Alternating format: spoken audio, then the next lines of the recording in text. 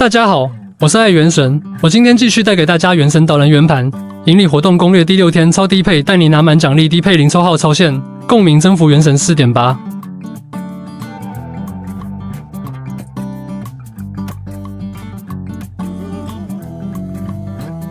今天是导能圆盘第六关，也是带来五千分满分拿满奖励的攻略啊！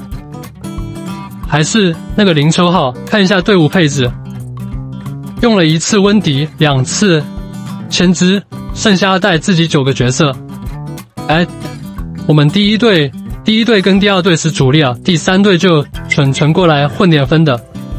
第一队要能够打满两千分，第二队也是，第三队。一千分混一下就行了。来，主要看第一队难点。第一队我们带的是草队，其中讨伐列表里面可以看到有一个草漂浮灵，所以我们要带一个处理这个草漂浮灵的角色。不，我们灵收只有两个水系啊，那芭芭拉肯定是处理不了草漂浮灵了，只有星丘。然后现在说第二队啊，第二队的难点就在这个魔像，魔像敬畏。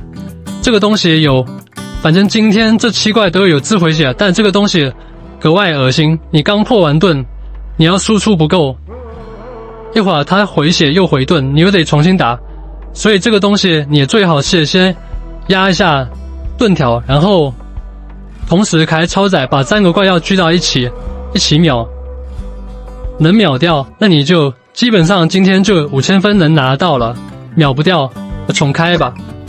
那只能这这么说，然后破魔像盾的话就只有超载啊。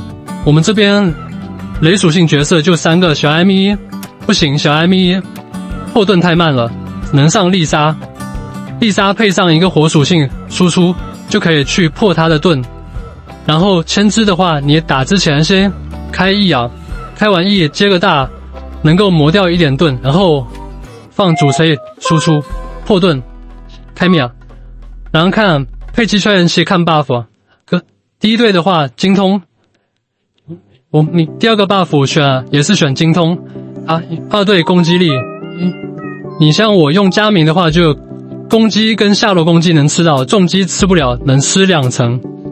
你你别的角色，你你看自己啊。如果你是什么仆人啊，哦，仆人也是得也是这个普攻跟重击。你看看你自己带什么角色吧，自己选。反正我我们没角色，就这个。第三队的话，充能元素战绩，嗯，因为他们都有吃元素战绩的。大招的，呃，最中间这个就选巨怪。我开始挑战。